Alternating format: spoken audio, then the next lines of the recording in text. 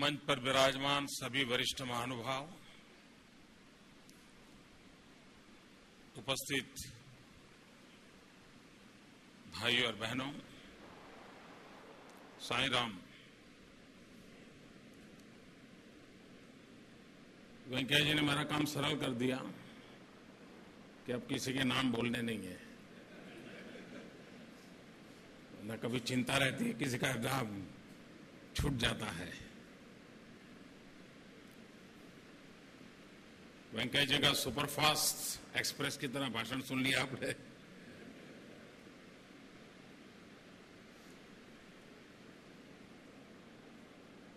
अभी रमन सिंह वर्णन कर रहे थे कि छह बजे निकले हैं मोदी जी।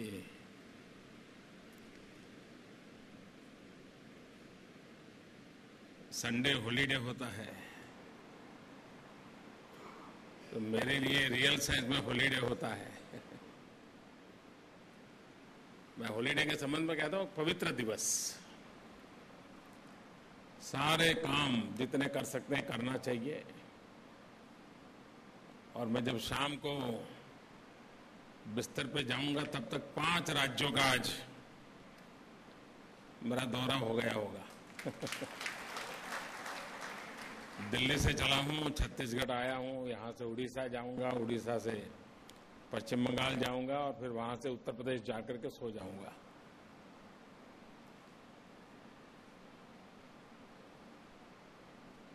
जनता जनार्दन जब कोई जिम्मेवारी देती है तो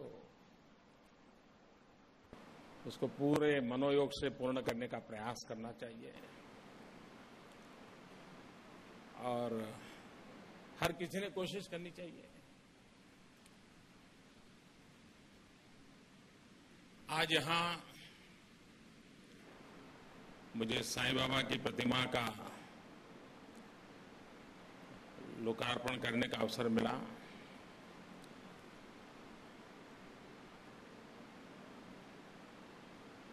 ये अस्पताल गरीबों की निशुल्क सेवा करने का काम करती हैं। खास करके बालकों के हृदय के ऑपरेशन, जो लोग पुटपटी गए होंगे, वहाँ भी एक बहुत बड़ा अस्पताल। और साईं बाबा का जो सामाजिक काम था उस पर लोगों का बहुत कम ध्यान जाता है। चमत्कारों की चर्चा बहुत होती है।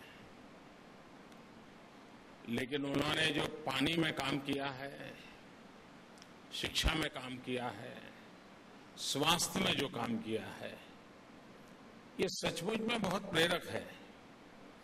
एक भी चमत्कार की चर्चा न करे तो भी ये काम अपने आप में बहुत बड़ा चमत्कार है। तो मैं बाबा के इस महान सामाजिक कामों को प्रणाम करता हूँ। आज यहाँ एक नई नीति का प्रारूप आपके सामने प्रस्तुत किया गया। इनोवेशन एंड एंटरप्रेन्योरशिप के संबंध में। मैं रमन सिंह जी, उनकी सरकार को बधाई देता हूँ कि उन्होंने इस दिशा में सोचा और सरकार क्या करेगी, क्या कर सकती है, लोगों को क्या करना चाहिए और सरकार और लोगों मिलकर के क्या कर सकते हैं, इसका इसमें एक खाका है। दुनिया में पिछले 50 वर्ष में जिन देशों ने प्रगति की है, अगर उसकी तरफ़ हम नज़र करें तो ध्यान में आता है, उन देशों की प्रगति के मूल में एक बात है इनोवेशन अनेक नई चीज़ें वो लेकर के आए, अनेक नई कल्पना के लेकर के आए, जिसको दुनिया ने स्वीकार किया। और वो इनोवेशन समाज हितकारी बना, लेकिन उस राष्ट्र के लिए आर्थिक उन्नति का कारण बन गया। और इनोवेशन नहीं होता है तो एक ठहराव आ जाता है, एक रुकावट आ जाती है।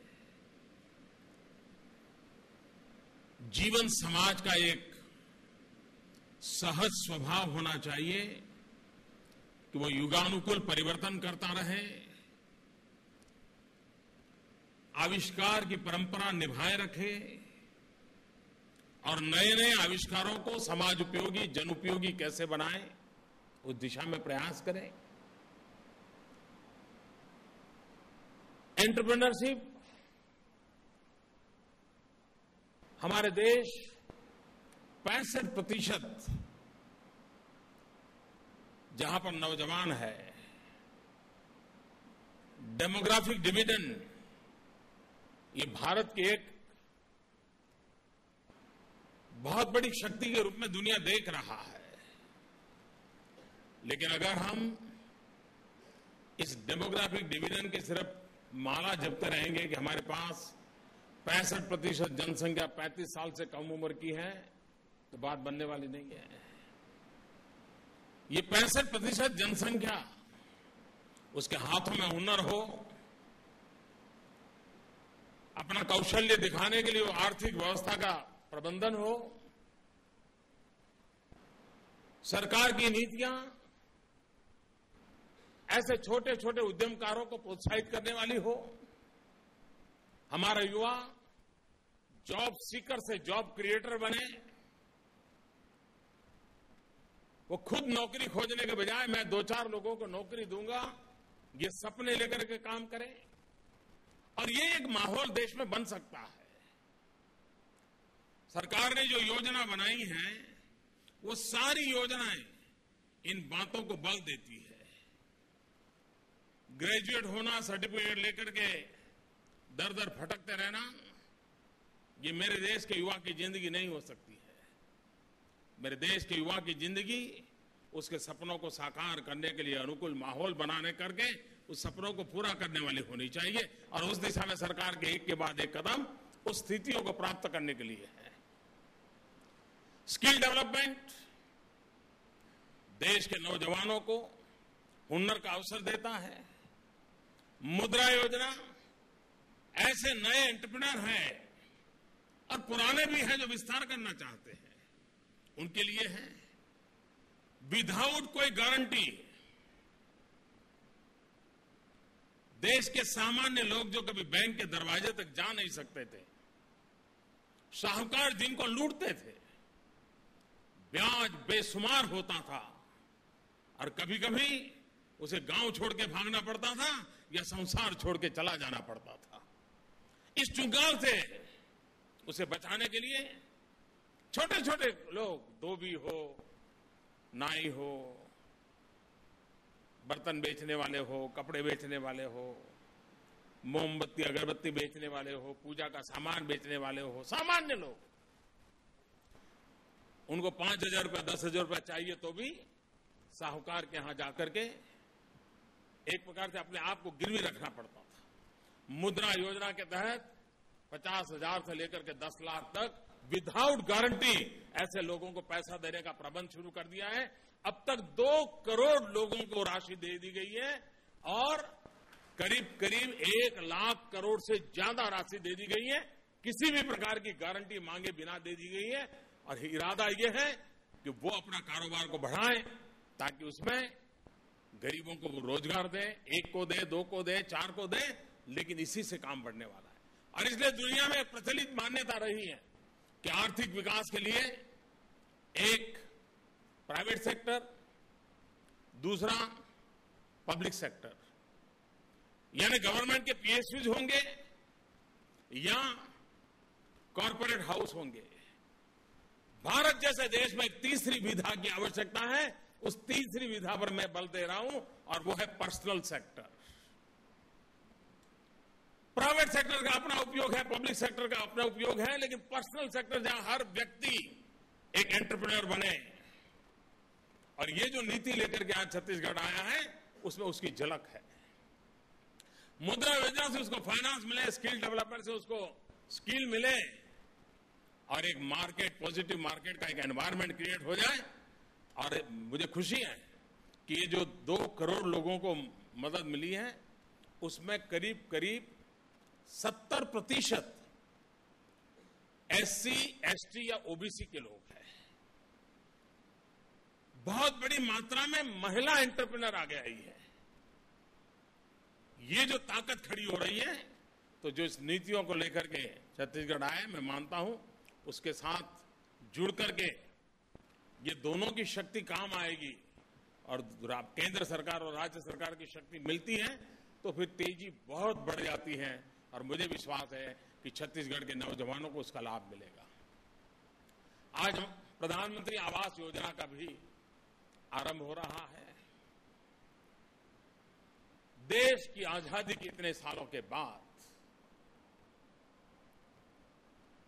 पाँच करोड़ परिवार ऐसे हैं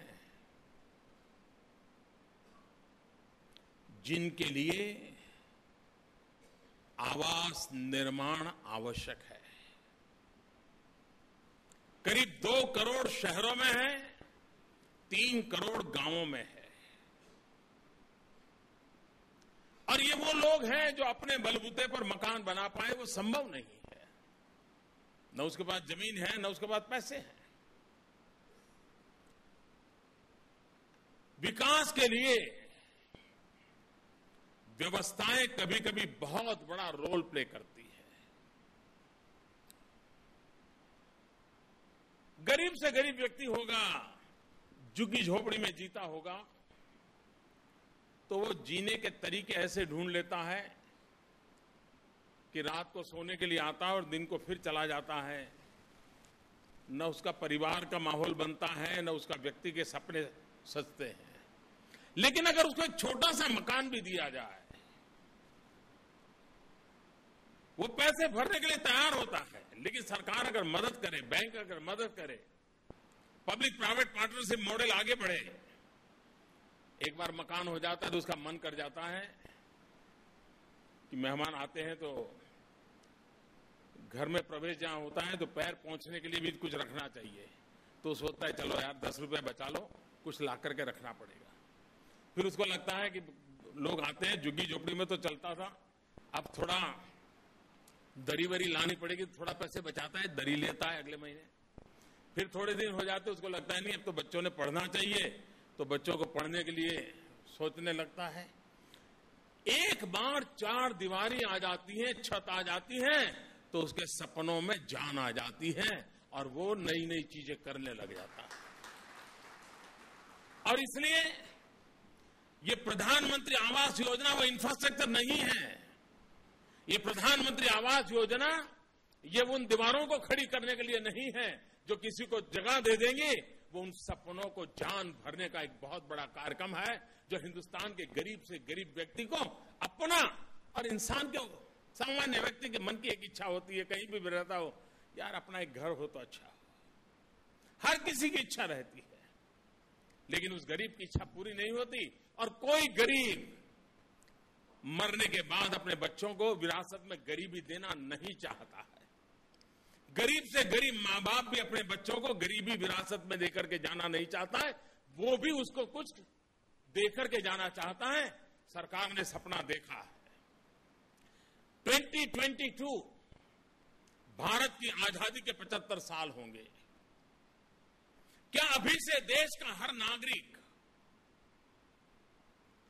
देश की सभी सरकारें, देश की स्थानीय स्वराज की सभी संस्थाएँ जो जो भी सार्वजनिक जीवन में या व्यक्तिगत जीवन में सोचने वाले लोग हैं, उन सबने 2022 के लिए एक संकल्प मन में लेना चाहिए कि 2022 जब देश की आज़ादी के 75 साल होंगे, जिन महापुरुषों ने इस देश की आज़ादी के लिए बलिदान दिया, जवानी जेलों में खपाई, फांसी के फंदे पर लटक गए, पीठ पर पुलिस के डंडे खाए उन लोगों को जिन्होंने इतना त्याग किया, तपस्या की और हमें आज़ादी दी, उनको आज़ादी के 75 साल के वर्ष पर हम क्या दे सकते हैं? उसका संकल्प हर देशवासी का होना चाहिए।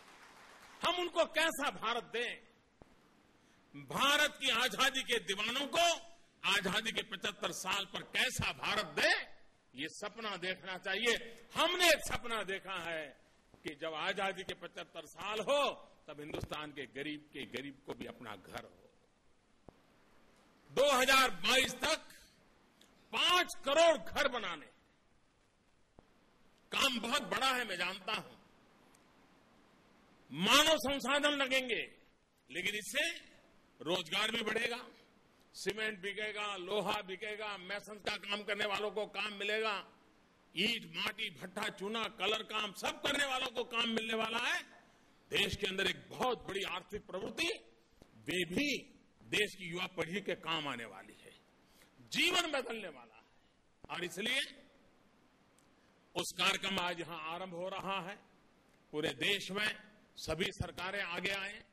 जितना हो सके जल्दी अपने यहाँ ज़मीन के संबंध में जगह तय करें।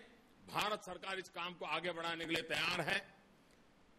राज्य और केंद्र मिलकर के इस काम को करेंगे और देश के गरीब से गरीब को हम एक छत देंगे, जिस छत के सहारे उसके सपनों को जान देंगे और वो जानदार सपनों से देश 2022 में नई ऊंचाइयों को प्राप्त करेगा। इसी एक विश्वास के साथ मैं फिर एक बार रमन सिंह जी को, उनकी टीम को बहुत बहुत शुभकामनाएँ देता हूँ। श्रीमान वेंकैया जी, इस विभाग के मंत्री हैं। दिन रात उन्होंने इस काम के पीछे लगे रहे हैं और मुझे विश्वास है कि सपना साकार होके रहेगा। बहुत बहुत धन्यवाद।